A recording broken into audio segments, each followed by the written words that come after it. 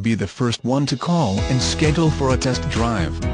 All vehicles are safety inspected and in excellent condition. Please ask our Internet department for more details.